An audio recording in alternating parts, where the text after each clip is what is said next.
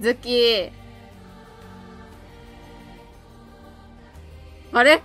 私今日一人でやるのかなこれ。呼ばれてるぞは 君だよ、君い、何ですか？ちょっとまた戻ってきてしまいましたね、ここにね。もう嫌って言ったやん 怖いから。怖い要素言うて最初だけだったやん。なあ怖いから一人じゃできないって言ってズッキー呼び出したの私なのにな。だから俺ズッキー呼んできたんやん。あ、そうか、ありがとう。いらっしゃい。いや、前回、その、完結したと思うんだけどね。うん。あのー終わったことにこう、満足しすぎて、はい。いろいろ解説だとか、おまけっぽいやつがあったらしいんですけど、見逃したんですよね。何もしてないですね。なんでちょっと、あのー本所七不思議の解説とかをちゃんと改めて読むっていうおまけパートみたいな感じでできたらなと。わーい、聞くぞ聞く、いやー、私が読むんだ、全部。よーし。聞くぞ まあ、ここでもね、見れるらしいんだけど、なんか、せっかくだから、かくだから、なんか、哲夫ちゃんあたりの BGM をさ、流したいよね。あ駒形橋。ここ、あ、オッケー よし。この BGM でいきましょはい。う。よし。まあ、これは別にいいんですよ、これで。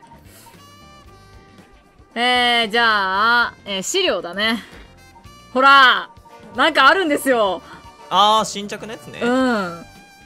本女子編について、あの、みおちゃんとエリオが二人で喋ってる時に解放されてたらしいんですけど、ちょっと何も気づいてなかったね。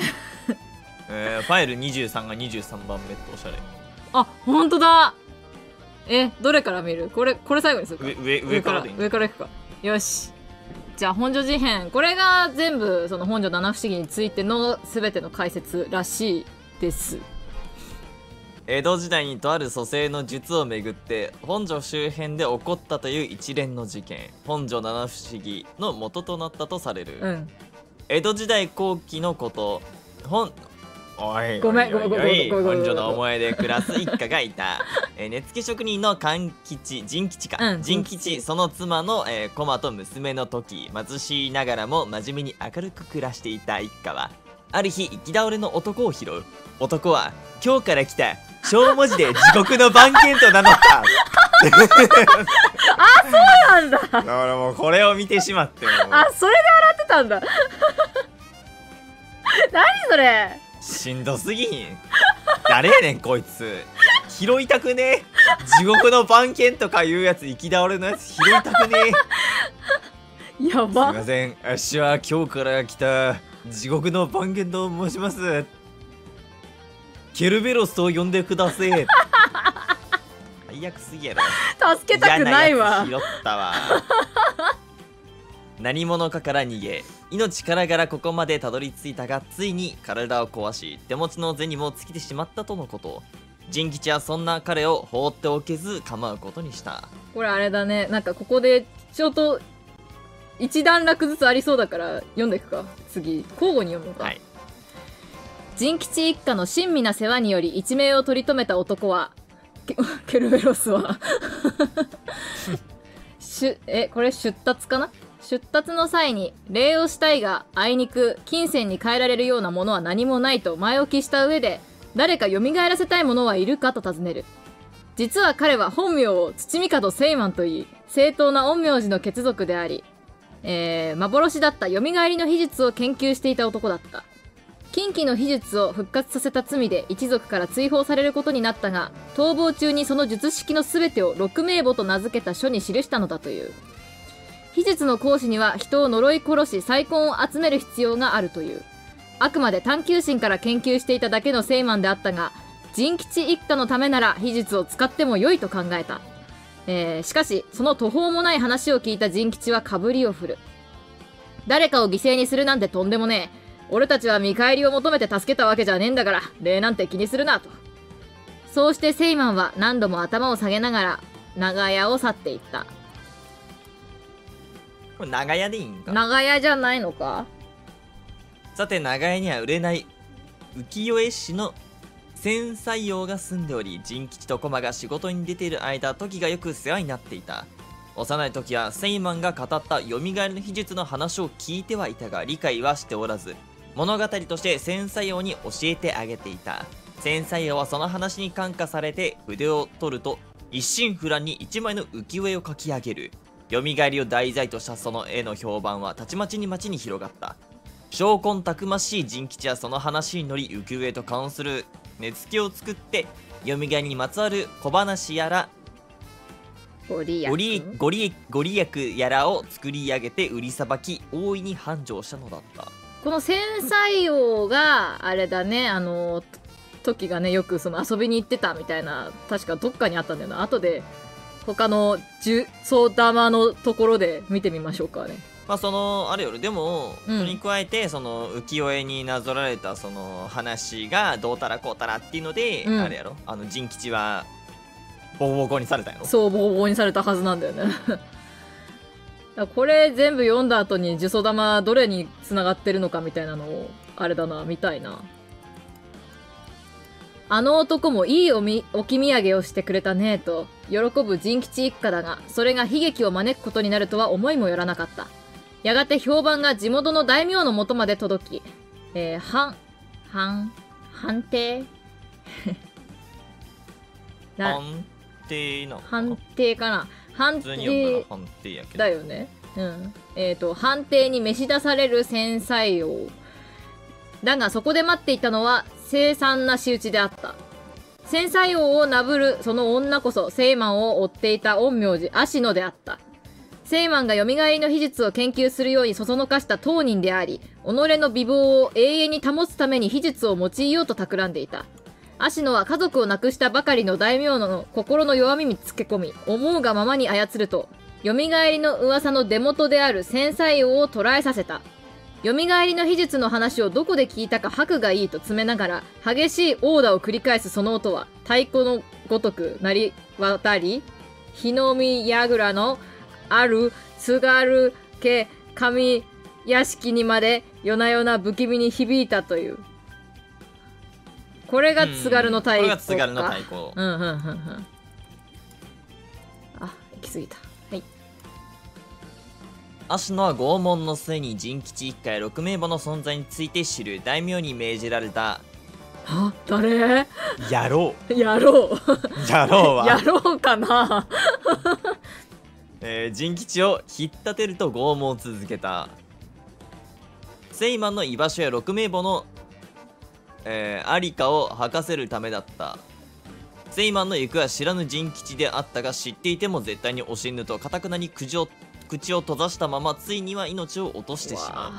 大名は蘇りという偽りの噂を流し民衆を惑わせた罪に耐えきれず、えー自死した。そして仁吉の亡骸を C の木に吊らせた。うんうんうん蘇りの秘術の噂が民衆に広まるとそれを狙う者が増えて動きにくくなるとして芦野が仕向けさせたことであったこれが落ち葉なき C かやつじゃない、うん。あ過労だって。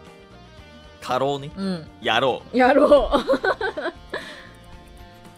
う。で、えー仁吉の話が広まると秘術は妄言であったのかと人々は、えー、教を失う。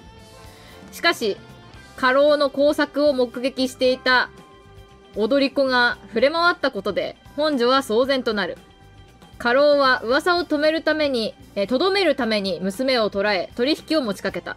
栄誉に目がくらみ作り話であったと吹聴して回る娘。そうしてこしらえてもらった舞台に立ったが口封じのため、えー、二皮の塗られたお面をつけられまんまと殺されてしまった。うんうんうん。これがやっこちゃんが持ってたやつやね多分ね。うバカ林そうだね。コマは夫の仁吉が首をくくるなど花から信じていなかった誰かの仕業に違いないと大名家に関係する者の名前やすみか、えー、住処などの詳しい情報をしつこくしつこく嗅ぎ回り一人一人当たっていった。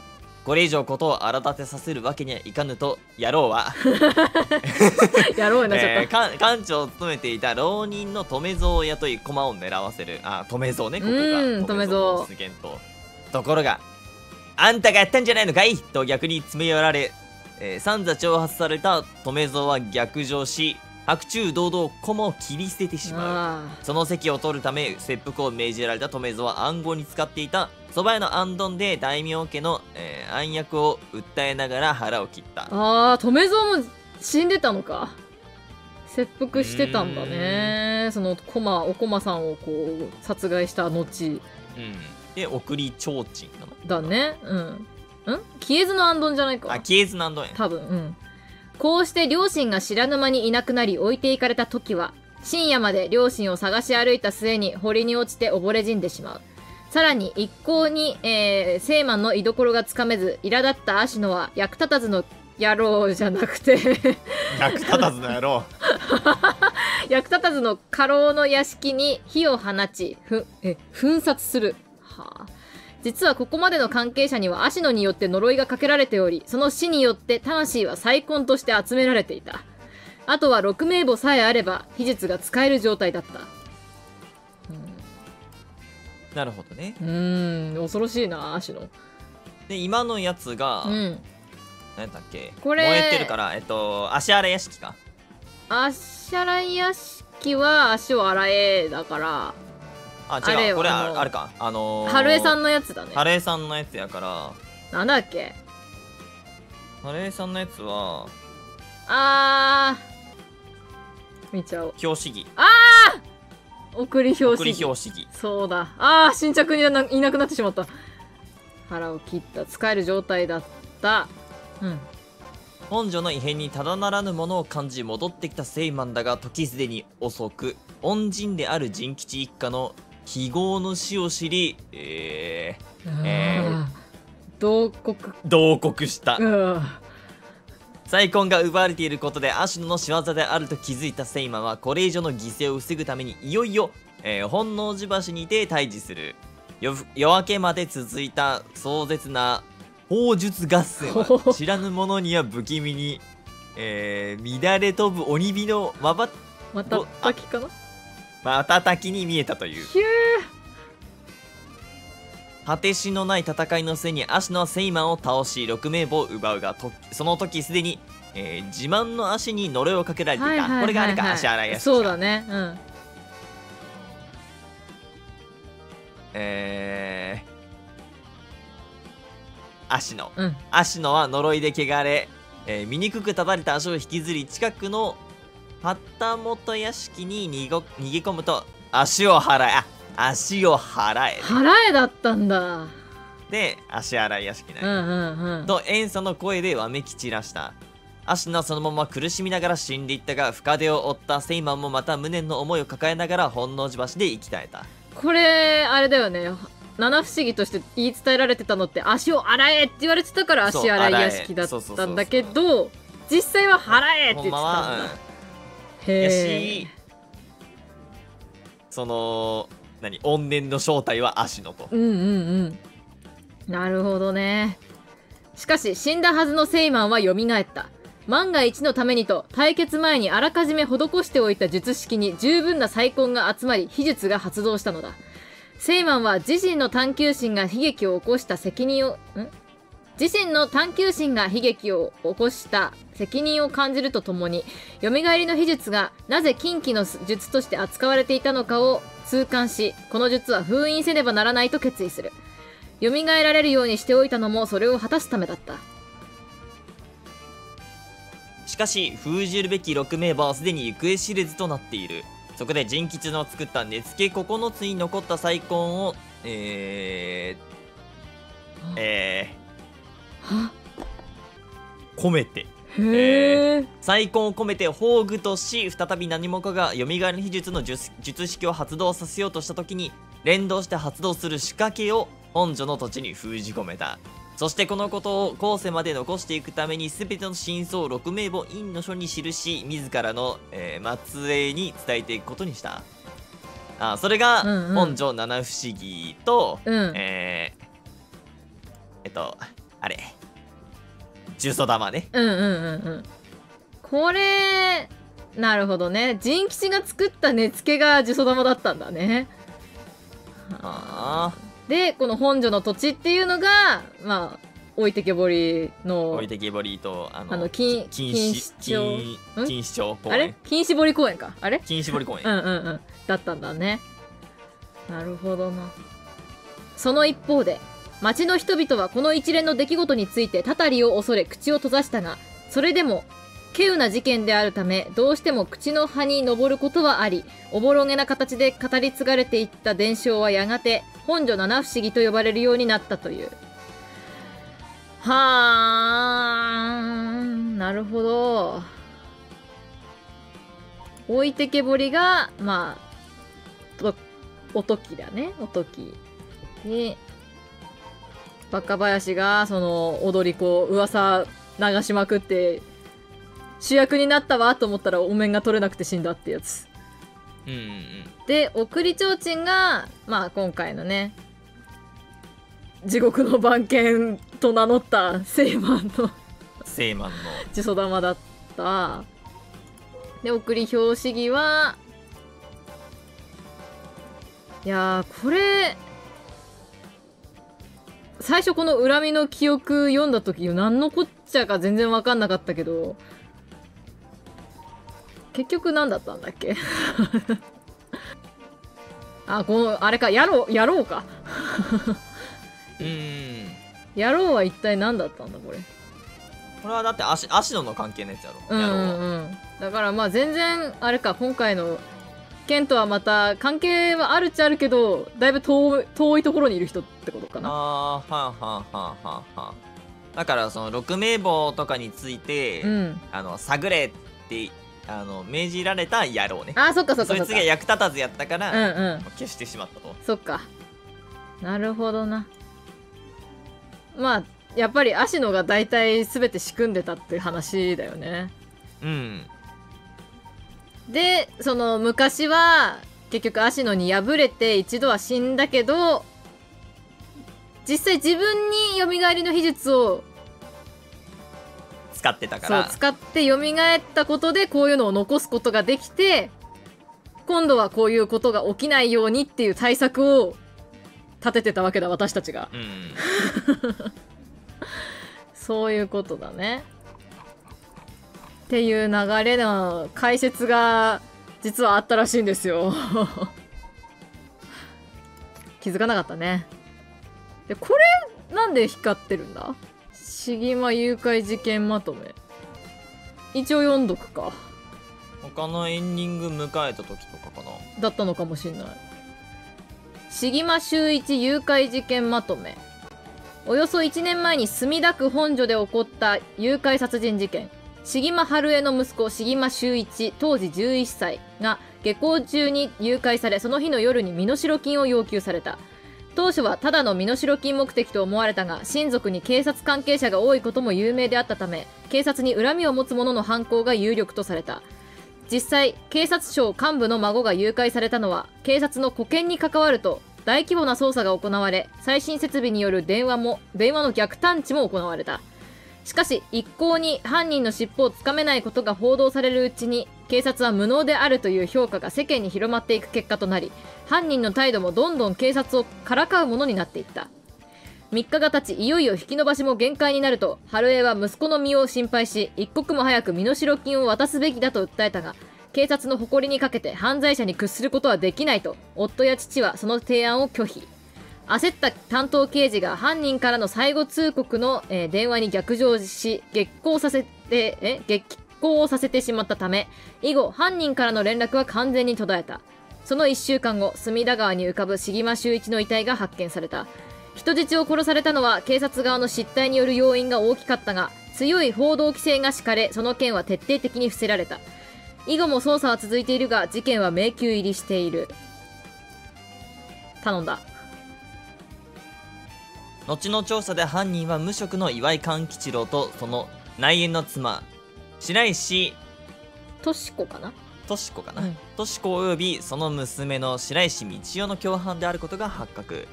岩井は普段から白石の母と娘に対し暴力で言うことを聞かせるといった関係で共犯についても強引に行わせたとみられる、うんうん。主犯である岩井の犯行動機や少年を自身が研究していた魔術の生贄にするためであり最初から身代金目的ではなかった模様。また重間家の息子を狙った理由は支援によるものだった。多分ここが追加されたんだろうな。かな？うん。いやーここも結構ひどい話だったよな なんか。ただただ白石家は巻き込まれただけだからね。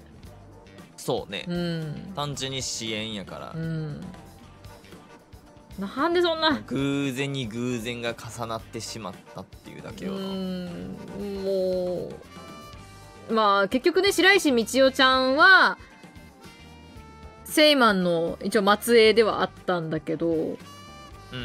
それとこの岩井勘吉郎とのことに関しては多分あんまり関係がないからさ。あたまたまな、うん。その内縁の妻ってうんいうだけやからな、うん。だからなんかこれからこのとしこさんはさ入院してるって状態らしいからさ。うん。うんこれからどうしちゃうというかどうなっちゃうんだろうって。みちおちゃん自身もほら亡くなってるし。あ？そうね。でもなかったことになってんのか？でもみちおちゃんはいないんだな。なかったことになったら岩井勘吉郎生きてて逮捕されてるんだもんね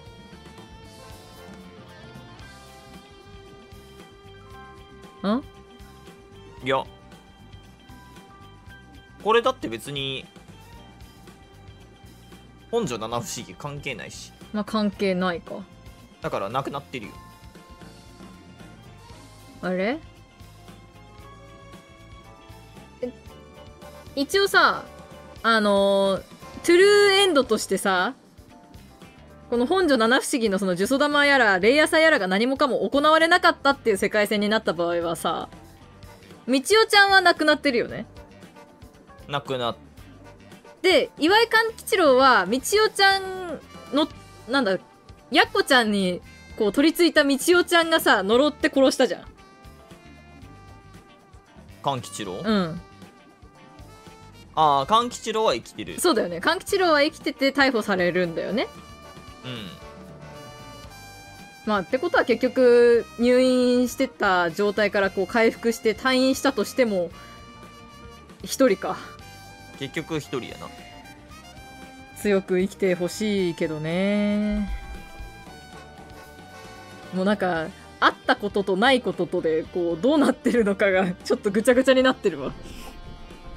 そうね、うん。その本所七不思議がそのなんていうの仕掛けが発動した後に起きたことと、うん。それ以前に起きてることがうん。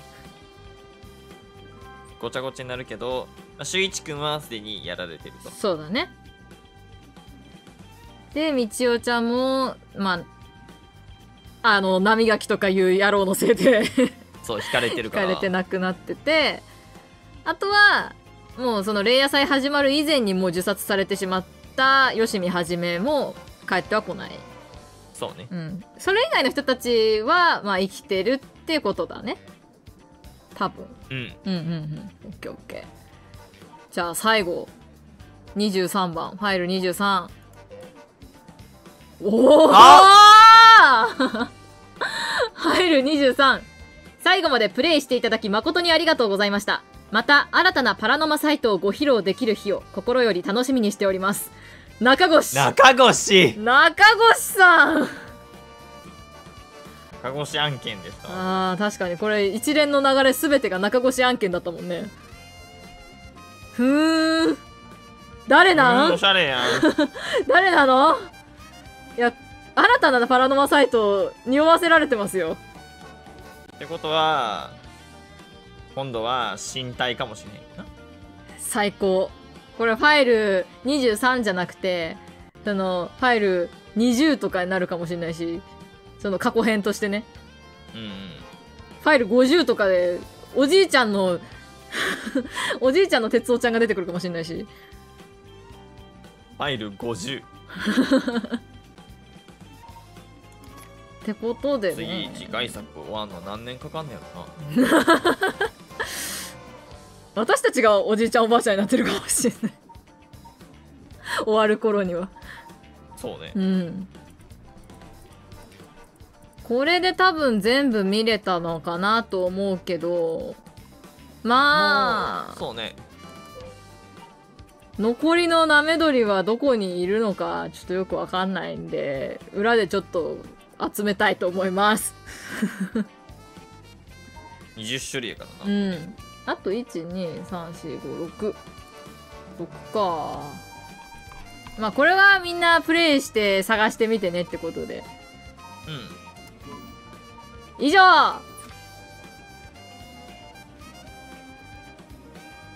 パラノマサイトでした。さよなら。